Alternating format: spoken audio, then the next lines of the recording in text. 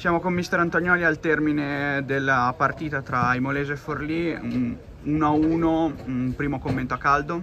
Ma eh, dai, secondo me è stata una bella partita contro comunque una squadra tosta come l'Imolese a cui faccio i complimenti.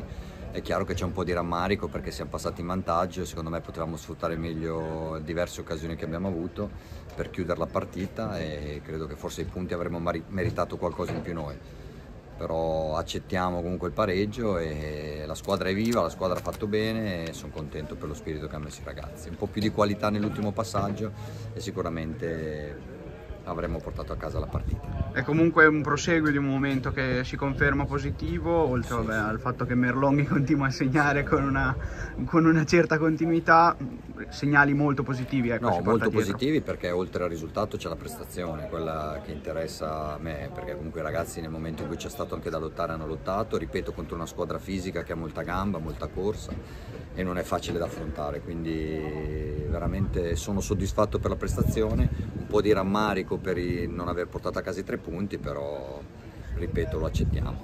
Uh, nel finale qualche piccolo rischio diciamo anche dovuto sì. forse a una stanchezza che, che arrivava, bisogna anche diciamo, ammetterlo in quelle stesse situazioni, comunque bravi a tenere il pareggio quando no, magari no, non è stata fortunata nella vittoria. Hai, certo detto, hai detto benissimo perché alla fine abbiamo pure rischiato, quindi queste sono le classiche partite che non riesci a chiuderlo, magari hai il predominio del, del territoriale come nel secondo tempo l'abbiamo avuto li abbiamo messi anche nella loro metacampo, però poi non riesci a fare gol e alla fine rischi in qualche ripartenza di poter subire. Invece i ragazzi sono stati bravi a stringere i denti anche nel momento di difficoltà e quindi sono soddisfatto. Un'ultima cosa, tra tre giorni di fatto si torna in campo, domani mattina subito un allenamento, poi una preparazione velocissima sì.